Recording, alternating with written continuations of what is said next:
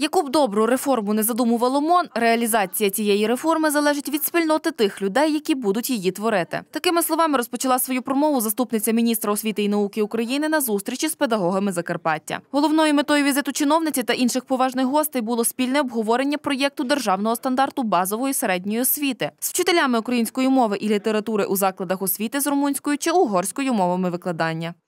І нам дуже важливо зараз почути вашу думку. Ви маєте можливість ще до опублікування документу вказати на якісь е, е, там е, помилки чи недоліки.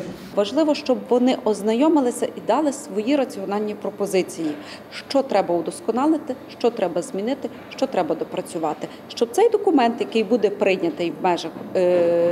Червня місяця або до 1 червня урядом України відповідав очікуванням і потребам спільноти вчителів і спільноти батьків. Під час презентації держстандарту було роз'яснено відмінність очікуваних результатів як основи для оцінювання учнів, котрі вивчають українську мову як рідну, і учнів, котрі вивчають її як державну. Також було зазначено, що по закінченню 9 класу діти-представники нацменшин мають володіти українською мовою на рівні Б2. Цей стандарт надзвичайно безпрецедентний ще й тому в позитивному плані, що він залучив зусилля, я не знаю, колосальної кількості людей, як українських фахівців, так в тому числі і експертизу Європейського Союзу, і експертизу фінську, і експертизу канадську. Та важливу другорядну інформацію в текстах на знайомі теми ще один важливий аспект, якщо мовлення чітко артикульоване. Якщо я говорю літературною мовою, в мене належний темп трохи сповільнений, я чітко вимовляю кожен звук, то мені, як не носієві цієї мови, буде легше зрозуміти того, хто говорив балакався, ходився, робився, писався, казав і так далі. Ми можемо говорити, що ми орієнтуємося е, на тих дітей, які будуть продовжувати е, навчання в п'ятому класі, ті, які пішли у 18 році в початкову школу з 22 року. Але після прийняття стандарту на рівні Міністерства освіти будемо працювати над програмами освітньою програмою, ну і безперечно навчальними матеріалами. Опісля теоретичної частини заходу презентації проєкту педагоги почали активно включатися у обговорення його та інших актуальних освітніх питань. Програмовий матеріал забігає вивчення рідної предмета рідної мови.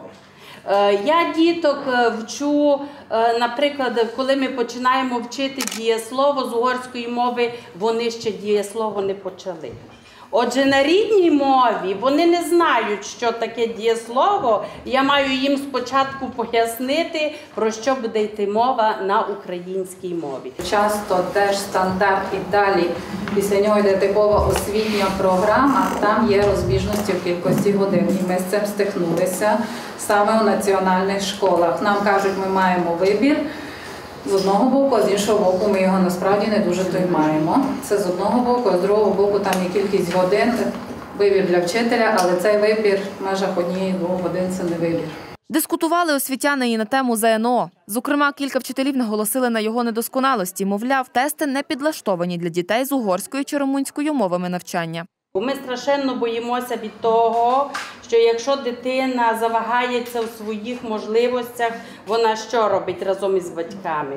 Вони вирішують легший шлях, е, покидають країну. Ми готуємо дитину до можливості використання цих знань в повсякденному житті.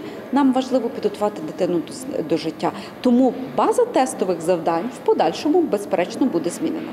Пані Любомира зауважила, що на підставі розробленого державного стандарту школа може самостійно напрацювати свою освітню програму. Заступниця міністра також підкреслила важливість професійного розвитку вчителів на прикладі підвищення їх кваліфікації. Розповіла про держфінансування в цьому напрямку.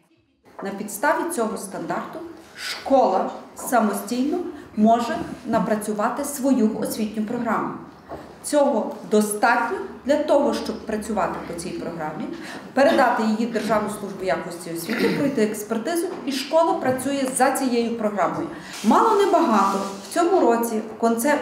в субвенції на нову українську школу на Закарпаття виділено 17,2 мільйона гривень на підвищення кваліфікації учителів. Але зважаючи на особливості Закарпатської області, 2 мільйони 170 177 тисяч гривень окремо скеровано для вивчення для підвищення кваліфікації вчителів, які працюють в школах національних меншин.